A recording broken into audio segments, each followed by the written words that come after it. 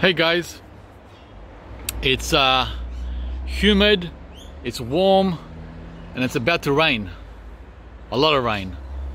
So I noticed the cherimoya here is loaded with uh, with flowers. So I'm gonna quickly go around and give it uh, my best shot. The first uh, hand pollination for 2022 and uh, hopefully it works.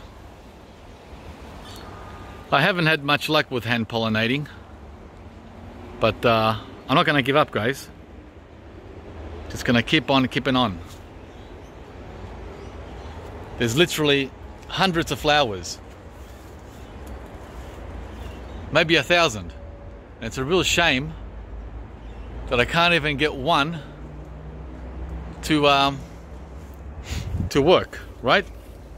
I don't know why it can't be simple as other fruit trees. Can you imagine having uh, 200 cherimoya all by, by themselves without doing anything? That would be nice. Well, guess what?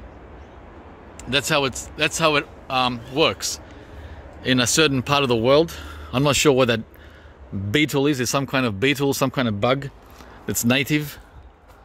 I think it's uh, Central America or South America. And you don't have to do anything. Yeah, that bug, beetle, whatever, does all the work for you.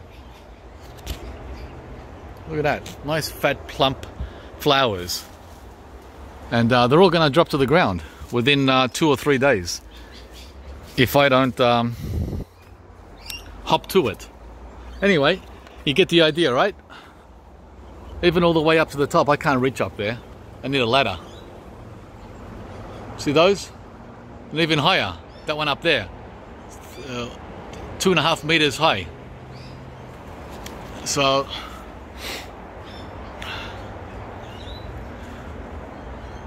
it's crazy. I would enjoy this so much more if um, the success uh, rate was higher. So all I have is a little container, right? And a brush, which I already used on the custard apple earlier. Just a couple of flowers. And that's it. They're the tools. So I go around collecting pollen from the male flowers. You can see some bugs in there already in the uh, flowers that were collected with a uh, with the pollen. And this is what the males look like. Like that one there. See that one? So you collect from there. I usually tap, tap, tap. And whatever comes down into the container. So that's a male. They're all male female, but at different times of the day they switch. Right? So these are uh, female, I believe, the ones that you pollinate. These ones. And that one's a male, that's already spent. There's another female up there. And that one looks like a male next to it.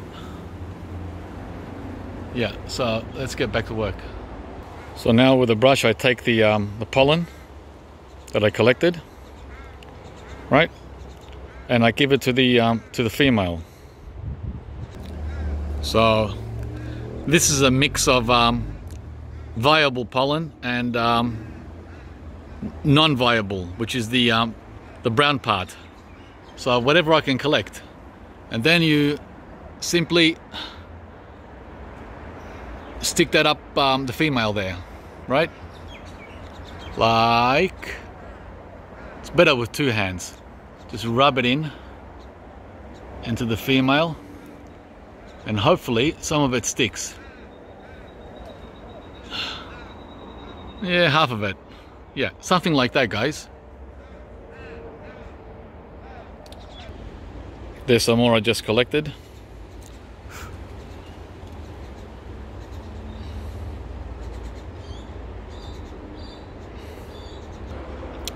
Looks like um, stigma or stemma. I can't remember which one is which, rather than uh, pollen. I don't have very good eyesight either. The camera helps. So I did about six or seven and I cut off the tips. See how uh, that's cut off there? So I know which one I've done. See how I've broken it off? Same there. Same there.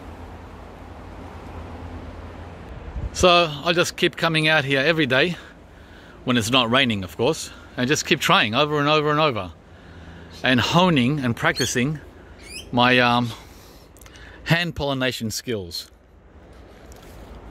By the way, um, I don't know if I told you guys, but I still have a cherimoya left over from last season. It hasn't fallen off yet.